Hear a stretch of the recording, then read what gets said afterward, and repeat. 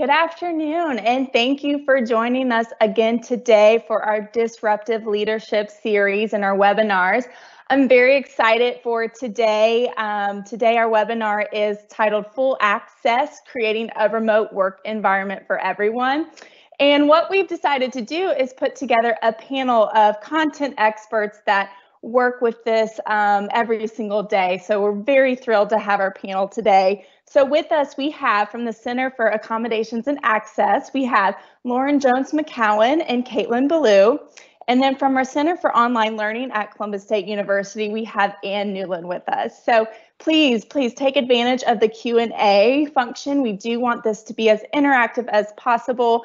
Um, so, you know, whatever questions you might have, go ahead and chat those in, and we'll be sure to touch base with them um, throughout the presentation. So with that being said, welcome to Full Access. Off to you, Lauren. Good morning. Thank you, Chelsea. And thank you everyone for joining us on your Thursday, Thursday morning or your almost lunchtime. So a few things just to uh, a self-disclaimer. I am an attorney, however, I am only licensed in Massachusetts, and so none of this can be taken as legal advice.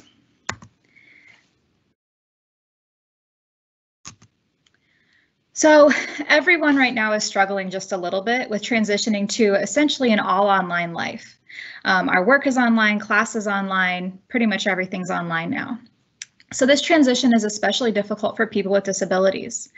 And even though businesses will reopen hopefully soon, and people will start to have a sense of comfort and some normalcy when it returns, the CARES Act actually does not require people with certain disabilities to return to work until they feel comfortable that they have reduced their risk of possibly contracting COVID-19. So remote working may continue for far longer with people with certain disabilities than, than for everyone else. Um, before this presentation, we did a pre-poll, and in the pre-poll statistics, it reported that 81% of the people who took the poll thought that the number of people with disabilities was lower than 19%. So per the 2010 census, 19% uh, of people in the US have a disability. Um, there are varying statistics from other other areas, um, but it's a census year, so we thought we'd go with the census statistics. Of those 19, that means that maybe one fifth of your employees have disabilities and 19% of your customers could have disabilities. So making sure your business is accessible and inclusive is not only important for your employees and your employee morale, but also it directly impacts your bottom line and your profit mar margins. Today we're going to cover some general tips about creating a more accessible workplace, as well as assistive, assistive technology basics for you. And then we'll go over how to um, develop and review accessible documents, your web presence, and media. So one more reason why accessibility is super important is that the number of number of people getting disability related accommodations in college has increased significantly. The statistics from the National Center for Education Statistics reports that in 2017, 19.4% of undergraduate students have disabilities. And in 19, or sorry, 1996, 6% of undergraduate students reported they have disabilities. So that's a pretty hefty climb in only 21 years. Um, we're expecting that this decrease, or sorry, this increase is because the stigma around disabilities has decreased significantly. Mm. But also we're finding that um, more of your new hires will be looking for accessible components when they are job searching. Um, so we hope that you'll take some of these tips away and employ them in your regular business practices. So for anyone who thought that one in five or 19% was a pretty steep, um, pretty steep statistic, we thought we should explain what a disability is. So under the Americans with Disability Act, which turns 30 in July, fun fact, um, a disability is defined as a physical or mental impairment that substantially limits one or more major life activity of an, of an individual. That's a broad definition. So the ADA does elaborate further, and they explain that um, a major life activity includes caring for oneself, performing manual tasks, seeing, hearing, eating, sleeping, walking, standing, lifting, bending, speaking, breathing, learning, reading, concentrating, thinking, communicating, and working, as well as the operation of ma major bodily functions. Um, some broad um, would include diabetes, infertility, cancer, anxiety, depression, and even alcohol addiction. So how are disabilities handled within the workplace and in education? First, by accommodations, but also by accessibility. So accommodations take a bit more of a band-aid approach in remedying or addressing the, the disability and the accommodations needed. Accommodations typically are required by federal and state laws, and there has to be a direct nexus between one individual and their, diag their diagnosed disability as well as the assistance or the devices that they need to be able to perform their essential job functions or to be successful in their academic career. Um, there has to be an interactive process that takes place. The interactive process uh, must be between the organization or the employer and the individual needing that assistance. Everyone's process is a little bit different, so we recommend that you contact your HR department or your Disability Resource Center. Um, here at CSU, that would be the Center for Accommodation and Access. Now, accessibility takes a very different approach to, um, to assisting people with disabilities. Accessibility is more related to one, is not related to one person's disability, but rather addresses everything as a whole. It's far more pro proactive as well. Accessibility um, makes things available for everyone, regardless of, of your disability. And some elements are required by law, but more from a compliance standpoint. And a great example of how accessibility requirements have helped people um, in like a, a trickle down effect would be curb cuts. So curb cuts, I think everyone is familiar with, but just in case it's the ramp on the edge of the sidewalk that is usually ridged and sometimes painted yellow depending on where you live. And that ramp goes from the sidewalk to usually the street or the parking lot. The uh, the curb cuts were initially put in place to help people who are wheelchair users so that they could get onto the sidewalk and get into the building on the sidewalk. Um, however, it's come to help a lot of other folks. So people with weak knees or um, weak ankles might have difficulty taking a big step or are stepping onto the curb. And so using the curb cut that helps them. It also helps um, little kids who insist on doing everything themselves and don't want mom or dad to pick them up and onto the sidewalk. Uh, they can go around and take the ramp and walk up like, like big kids. And then it also helps the store owner who can bring their, their products in on a dolly or a cart from the street or their truck into their store um, instead of having to go jump off the curb and you know hoist all those materials up risking damage. So I like this example because it directly shows how it impacts someone with a disability, but then carries over to everyone else that that might be might be accessing that that area. Um, and we hope that you'll find that our other tips are are effective in that way. So some ground rules for online meetings. I think we've all been in tons of Zoom meetings, it feels like. And first and foremost, lay the ground rules. One person talks at a time. It's very elementary, but it's necessary. Um, you may have to take complete control over the meeting and the platform and just mute everyone. But this will help people with autism to avoid being overstimulated, people with hearing impairments because they can't drown out the background noise sometimes, and then people with anxiety who feel like it's a lot to manage, they have concerns over when and how should they chime in and how to be part of the group. Now, if anyone has is worried because they are going to be muted and they feel like they can't participate fully. Um, a lot of uh, platforms have the raise hand function. And then you also have the, um, the chat box on the side. But if you're going to use the chat box, we recommend giving everyone a little bit more time. Not only does this promote thoughtfulness and a more thorough um, and involved conversation, but it also helps people with cognitive processing disorders who might need a few minutes to switch from listening to watching to then typing in their response. It also helps people with learning disabilities who um, might need an extra minute to double check their spelling or see if the words were entered in the right order when they were typing it in. Another tip would be to introduce yourself. And this is helpful for people with visual impairment because they can't see who's speaking when your box on the Brady Bunch like Zoom platform uh, lights up, indicating that you're the one speaking. And um, it also helps people with hearing impairment because they might not recognize the tenor of your voice. And so just by introducing yourself and saying, hey, this is Lauren, and going off your statement, uh, carries that over for them.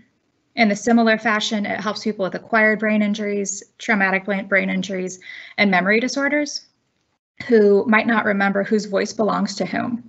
Another thing is that helps jog their jog their memories so that they can associate and remember, oh yeah, that's the person in my working group, that's the person in my classroom right now.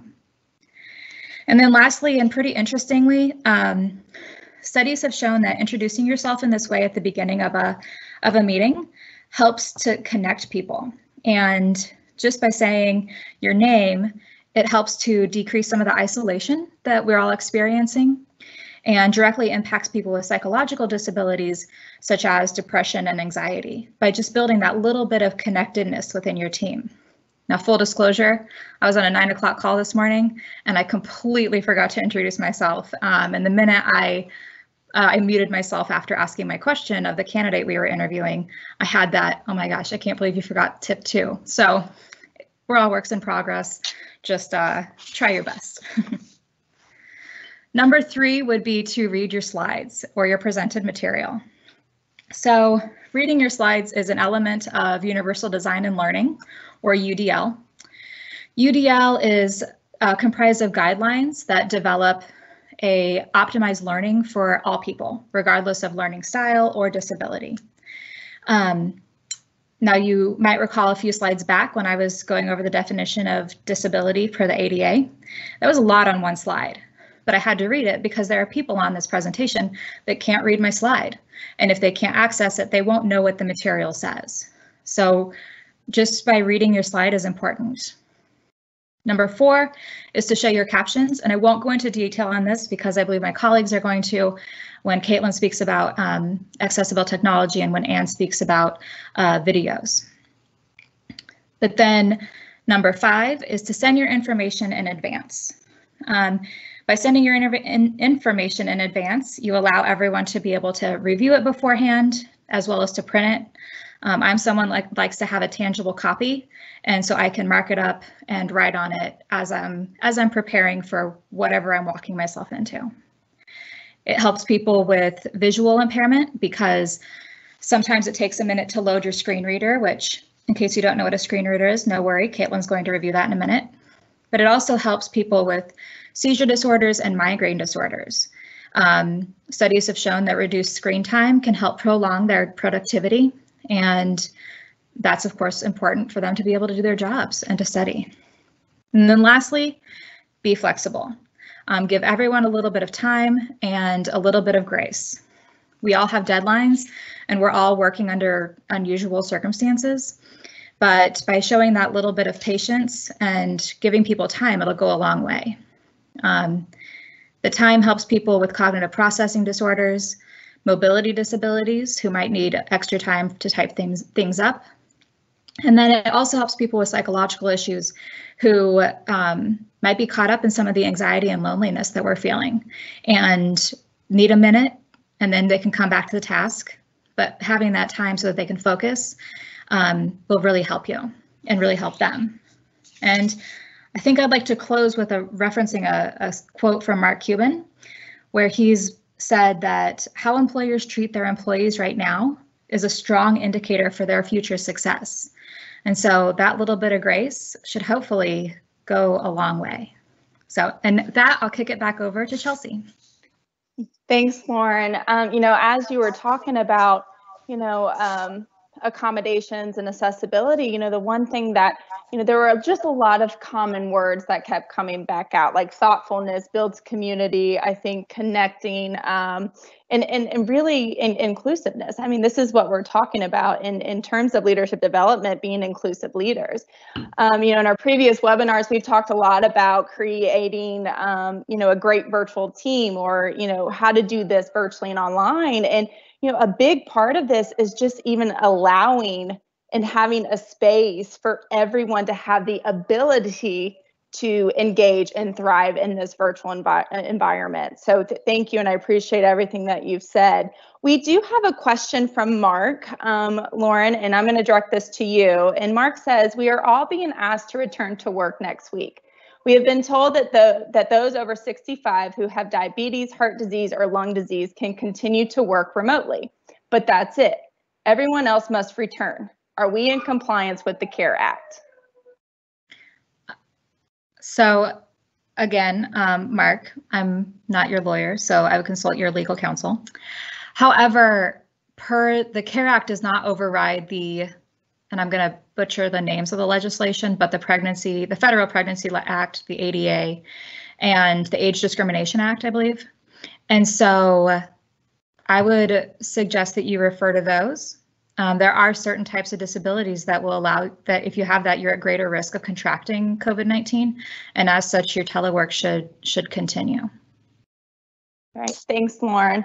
Um, so that's all the questions we have right now, and so I think you know, Caitlin, I'm going to um, switch it over to you, and so she can kind of help us as leaders have some tools in our toolkit to be able to provide um, an, an inclusive environment. So, Caitlin, over to you. Great. Thank you so much, Chelsea. My name is Caitlin Ballou. I am a program coordinator at the Center of Accommodations and Access at Columbus State. Um, in my job, I work daily with students who have disabilities, and my specialization is in assistive technology. I'm pending a ATACP uh, assistive technology certificate at the moment and disability studied focused research in my background, uh, master's background. So jumping in, I'm going to kind of run through some quick, hopefully applicable uh, assistive technologies for everybody right now, considering uh, the things going on with COVID-19. The first thing I'm going to be talking about is screen readers, then spell checkers, then magnifiers, built-in cap or captioning within video conferences, and then built-in versus third-party applications. So I'm going to jump on in to screen readers.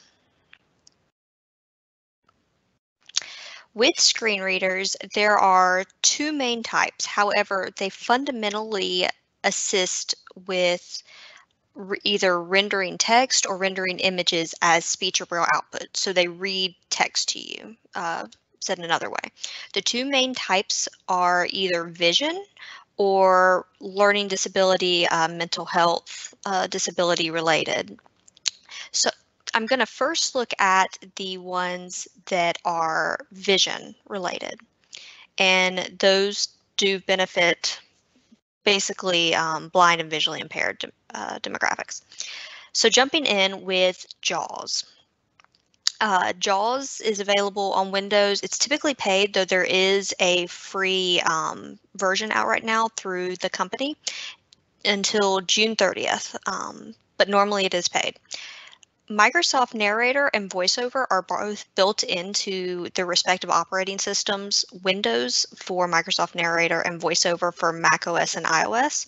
So they are built in. You could access them today on these devices if you wanted after this uh, presentation. And then NVDA is for Windows, however, it is free.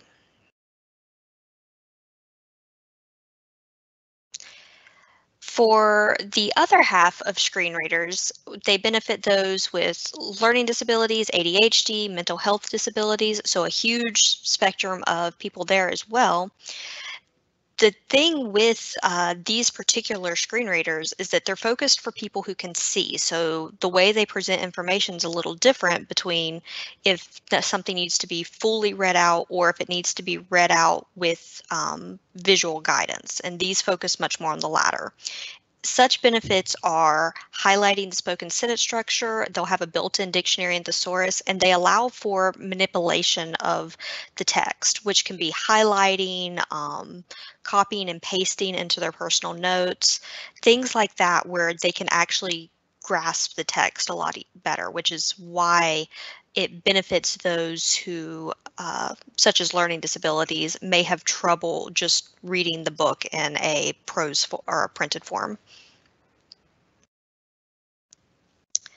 Going into uh, examples of these uh, learning disabilities, mental health disability screen readers.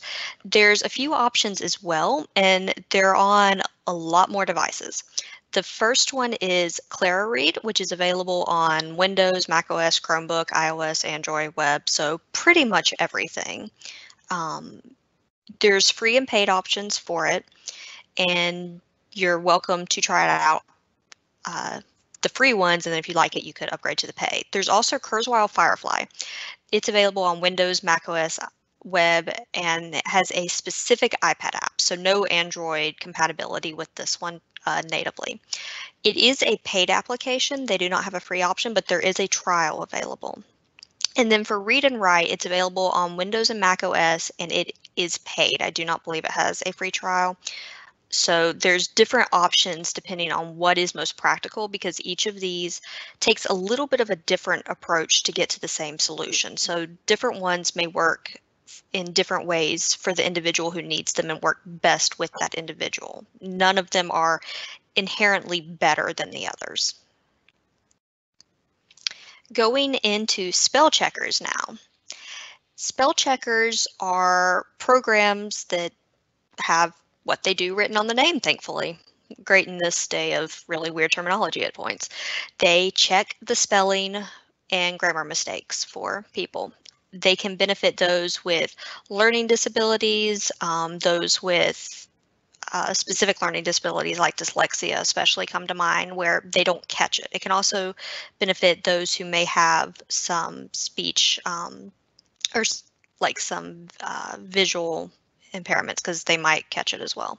So examples for that are spell checkers, um, or examples of spell checkers rather, I'm sorry, is Ginger, which is available on Windows, macOS, iOS, Android keyboard, and Chrome and Safari browser plugins, and it is free. So you can just go download it right now if you'd like.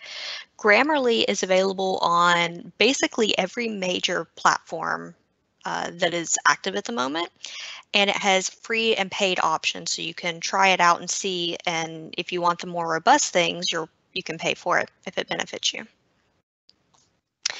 The next thing I will be speaking about is screen magnifiers. Screen magnifiers do what we would expect a actual magnifier to do, but they do it in the digital uh, environment. So they blow up a section of the screen. And it's easier for those with low vision so that they can see, something, they might not be able to read something at size 12 font, but they might be able to read it at size 50 um, as an extreme example. There's a handful of examples of these programs too, uh, two of which are built in, which is nice because that would mean they're already accessible to you today. The first, however, is ZoomText. It is from Windows and it is paid. Next is Microsoft Magnifier, which is also Windows, and it's built into the Windows operating system. And then Zoom Magnifier Hover Text. Apple is a little back and forth on exactly what they name uh, their screen magnifiers because it depends on what it's doing. However, one of those three will be on there, and they all fundamentally are screen magnifiers in their own way. And they work on macOS and iOS, and they are also built in. jumping into video captioning here. Video captioning is great because it allows those with hearing impairments, autism, and cognitive uh, sorry, cognitive disabilities to participate in the conference. These we're we're in a conference heavy world at the moment, so keeping awareness that you want everybody to join into that conference as you can. It can be helpful to even have like captions on TV, such as with Netflix. I do that myself where I have, I do not have a um, speech impediment or not speech, hearing impediment, but I like watching things with captions on TV because it's just easier for me to grasp the information. So even those outside of this benefit or outside of this um, group benefits in the end, which is something that Anne will be speaking out about a little bit more, and uh, Lauren has mentioned as well with universal design. Captions also assist when people are speaking quickly. Um, Lauren speaks a little quickly uh, during her presentations typically, and so if you have captions, it's more easy easy to uh, connect the dots there. And if you missed a word, you can see it up on the screen. There are two main uh, video conference softwares that I've seen being used during this period, and it's either Google Hangouts or Zoom for the most part. Google Hangouts and Zoom are available on basically all platforms, which is great. They're accessible. And but they take a bit of a different approach from each other for captioning, and they both have uh, strengths and weaknesses. So for Google Hangouts, they provide free captions, but they're automated. And this means that the their accuracy may not be the best, but it is something that is instant and it can be available for everybody. Zoom, however, allows you to uh, secure your own independent uh, captioner and you they can just hook directly into the zoom conference where you can have captions going live on the screen that should be significantly more accurate because a live human is typing that in So now we're going to look at the final topic, which is built-in versus third-party products. They both have their pros, they both have their cons. The major three are the major three areas we're going to be looking at is cost, support, and robustness. So starting with cost, built-in is almost always free. I cannot think of a built-in that isn't. Third party can cost money. It doesn't always, but it typically does. So depending on your budget and your requirements, built in might sound more appealing at the moment, admittedly. However, jumping into the other two, there's support and robustness. So support, typically third party has a more robust support because that is what they do. They're not maintaining the whole operating system. You're not calling Microsoft to say, hey, screen magnifier doesn't work. And Microsoft's going, well, we have, that's one tool in the 10,000 tools on Windows. We'll get back to you. However, for a dedicated company, this is what they do. So their support's going to be a bit more robust with you and be able to go deeper into issues. However, built in typically has longer periods of actual product support because it's built into the system. So Microsoft is likely to support that product longer than what a third party vendor might be able to uh, financially before needing to release a new version. Finally, there's robustness. Robustness is just what can the app do? And with robustness, third-party apps are typically more robust because they're able to be specialized. They're able to focus in on this one area that will benefit employees. However, that can be good and bad because they tend to have more device or platform restrictions that might not be available on a built-in application. Built-in applications tend to be more available on a wide range of hardware uh, within that ecosystem, but they're less specialized, so they might not be able to do what you need to do. And that is a quick rundown, very quick rundown of some assistive technology that will hopefully help right now.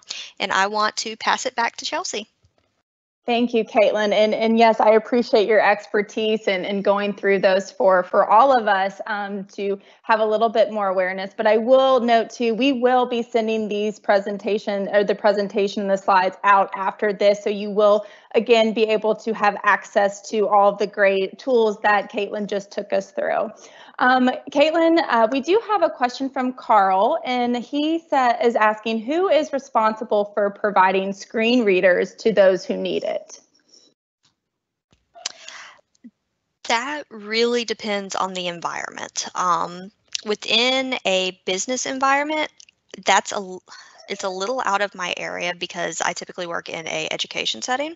I think HR would be probably your best point to talk to, though, um, because they typically handle accommodations as a whole uh, for employees. So that would definitely be my first stop to see what they say. If it's somebody that is already a part of vocational rehab, then you would also want to get in contact with vocational rehab and see if they can assist.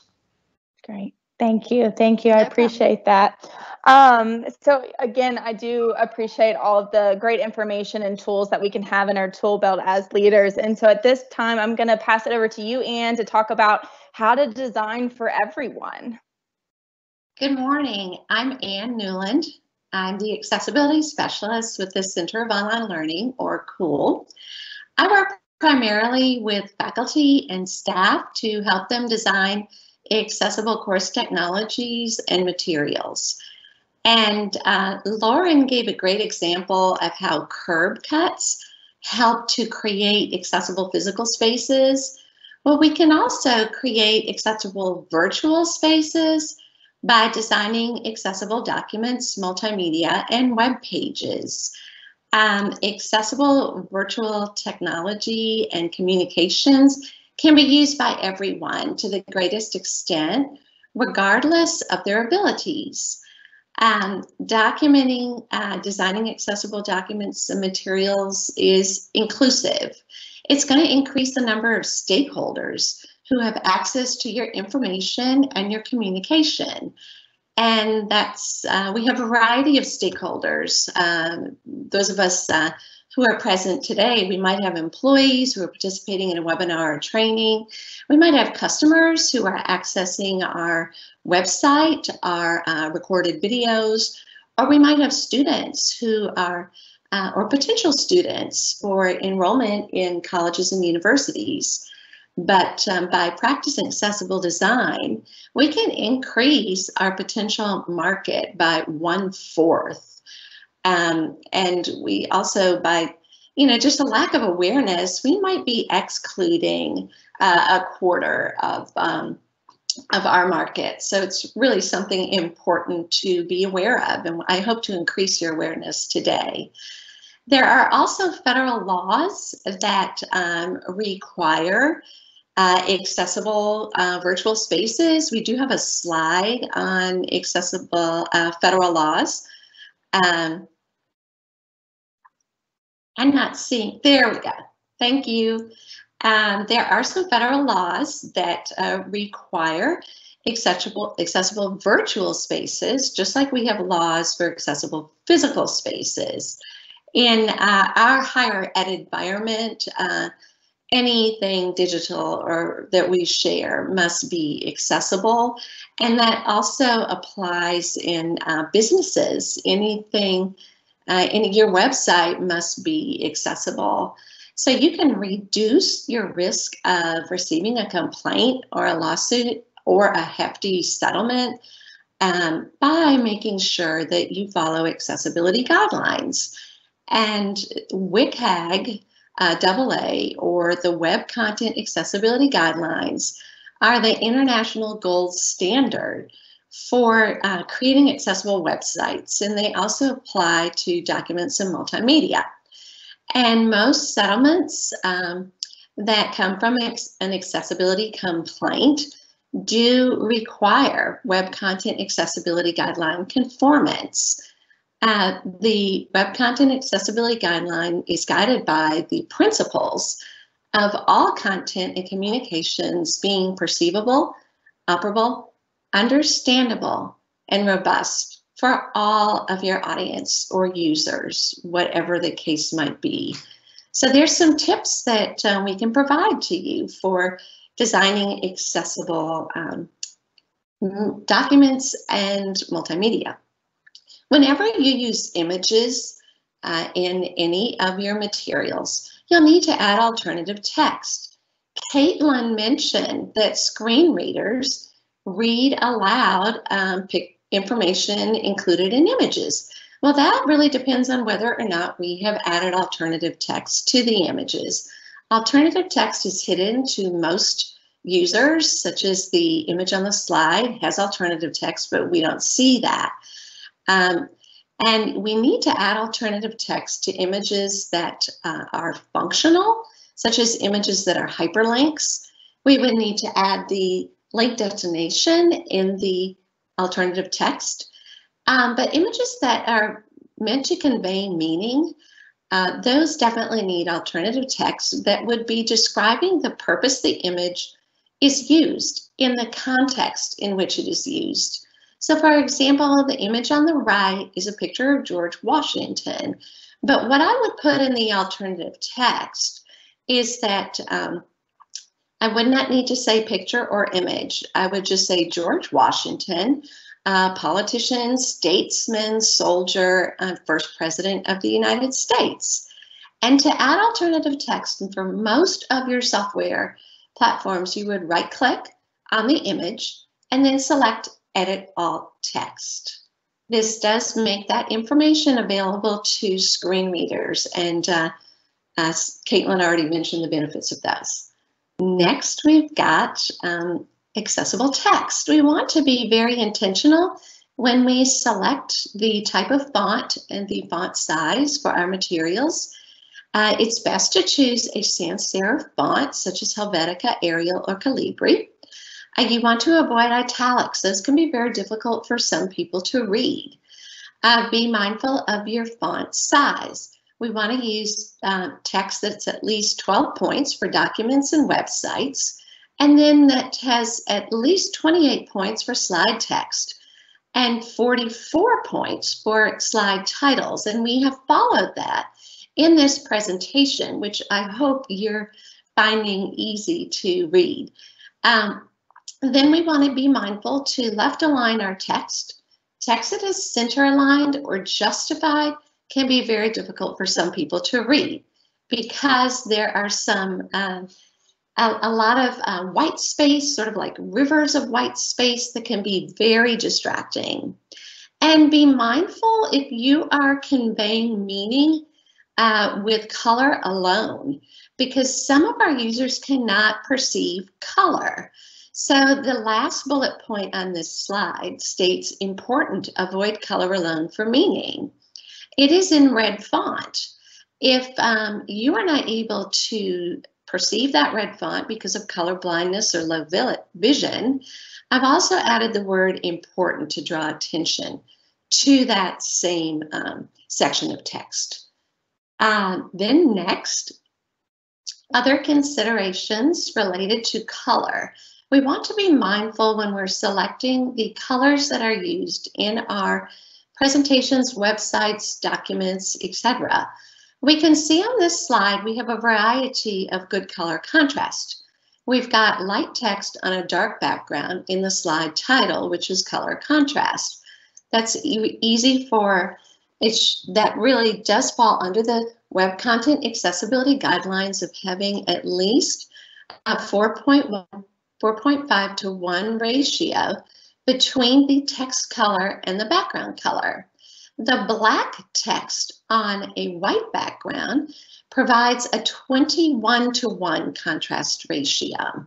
And then we can see on the right hand side, this is actually a screenshot of the WebAIM contrast checker, which is a very easy to use tool uh, where we can input our foreground color or text color and background color and get a reading of whether or not it passes the Web Content Accessibility Guidelines. You can see in those text boxes a darker blue, that's sort of a medium um, blue with a black text, also provides an accessible color contrast ratio of 12 to 1. So be mindful when choosing your colors. Next, we're going to go on to um, making sure we use accessible slide titles or headings. This is a critical thing that a lot of people don't really consider when they're designing their documents and presentations. Those slide titles and headings uh, can form an outline that screen reader or text reader users can use to jump right to the content that they need. They really form a clickable outline. So we do want to make sure that for each one of our slides, we have a unique slide title. If slides are used more than once, we want to vary the second title a little bit. If we have a long document, such as what we can see on the right, uh, we want to create document sections, provide headings for those, and then style those with our software so that they have different heading levels. The title, Accessible Documents and Multimedia, is an H1 heading. The sections below that, such as accessible images, accessible text, etc., those are H2 level headings. And subsections under the H2 headings would be H3. That provides a nice document structure and actually helps users navigate by those slide um, headings. So that's a critical thing. Then we also want to consider accessible media. Caitlin did a great job of uh, discussing the benefits of having accessible live captions when we have presentations. We also need to consider having closed captions for recorded video and audio. There's uh, many accessibility related lawsuits originated from a complaint that recorded videos on websites did not have closed captions. So we want to be very mindful to include those closed captions. Um, accurate closed captions include correct sentence structure, correct spelling, and their time synced to the video. We have many uh, platforms that will auto-generate captions for us, but they are not accurate enough to be considered accessible for recorded video. So we need to be mindful to edit our closed captions for recorded video. Most video platforms provide users with tools for creating um, or editing their captions, such as YouTube um, and many others. I know we're probably all aware of great closed captions and also um, very um, poorly created auto-generated captions. So be mindful to have your videos captioned.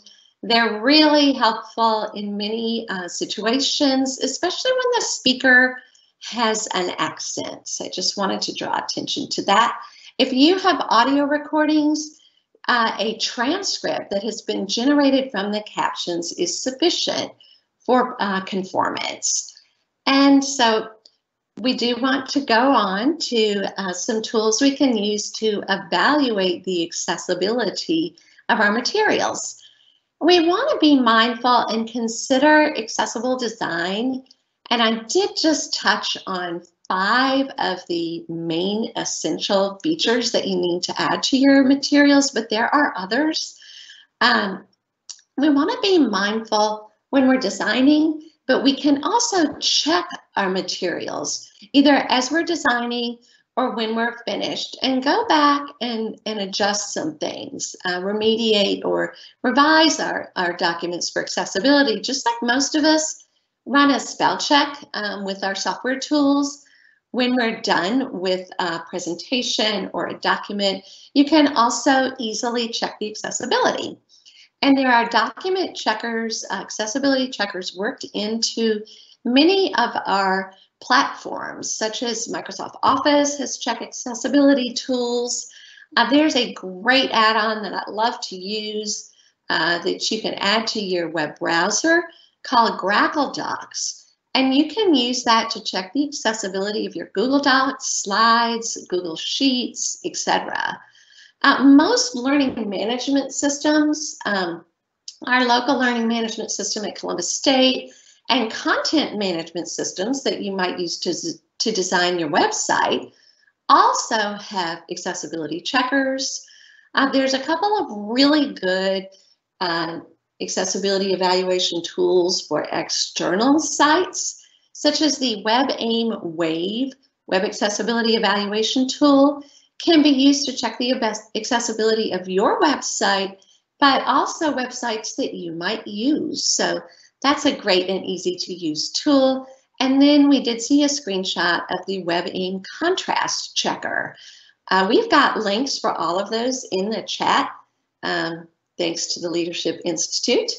And um, we, we really do want to encourage you to design accessible documents. Now, there's additional resources, as I mentioned.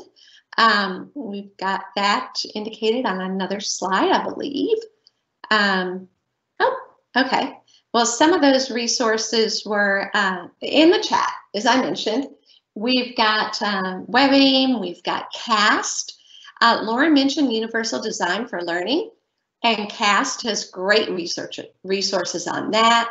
And then there's a, another um, list of resources in the chat. And please, I think my email address is available to you all please don't hesitate to reach out to me if you have questions about uh, accessible design of your documents or multimedia. And thanks again.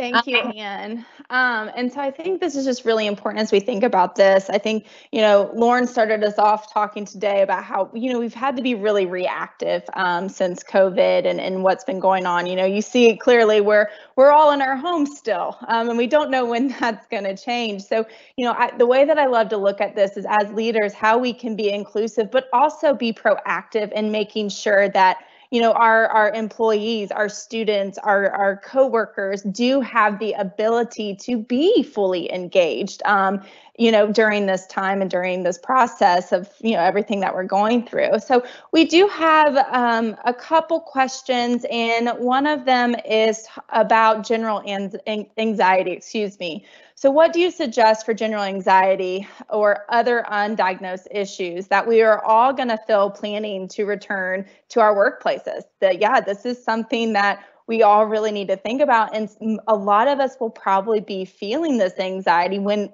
we have to adjust again, right? Because that's what it's going to be. We're going to have to adjust again. Um, and so transparency and, and um, you know, being open are clearly givens. Um, but, you know, that, that communication with your team and letting them know where you are um, I would also like to reference you to our Facebook page. We have our post um, or previously recorded webinars on the Facebook page, and there is a fantastic one that talks about managing stress and anxiety by Dr. Kelly Baez. Um, so please, please check that one out. I think that would be another great resource just to help kind of follow through with that question. Um, let's see, we do have another one. This is from Lori. Since the pandemic, our institution has, has seen an increase in students seeking accommodations. Have you seen this as well? What do you attribute to this increase?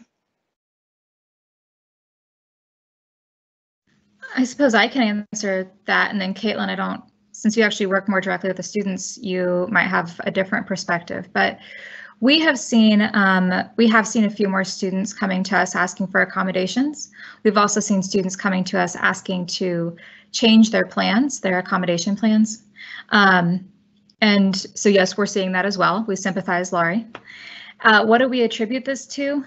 The just the changing in the and what and how they're learning.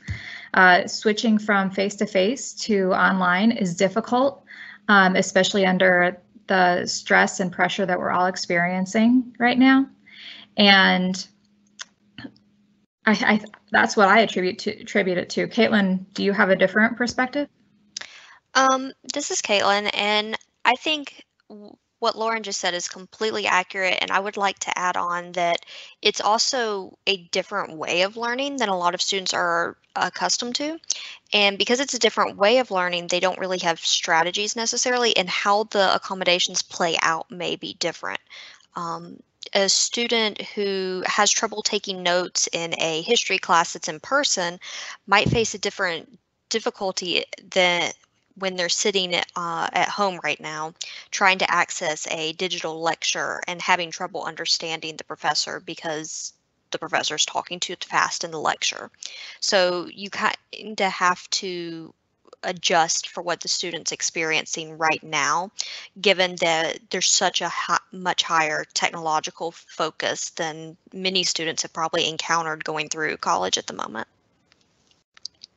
Um, Caitlin, as you were talking and answering that, I couldn't help but yes, it was directed towards students, but just you know empathizing with that too and saying you know probably that's a, the same place where a lot of your employees might be where a lot of your coworkers might be where we've all had to try to figure out um, how to work virtually um, 100% remotely when many of us have never done that before. Um, so i couldn't help but think about you know um, employees and customers going through those same type of changes too just like our students at the university. Thank you. Um, one more question. This is from Lisa. So, how do I know if I'm meeting the needs of employees who have unseen disabilities when I'm not allowed to ask about unseen disabilities? So, I think maybe I could take that one. Um, so, Lisa, you're totally correct. You can't ask if someone has a disability like that. Um, that would be an inappropriate conversation. But I would suggest that you actually embrace some of the tenets of servant leadership in developing a a trusting and inclusive environment within your office um, and asking what you can do for your employees that day or your staff members, how you can be of service to them.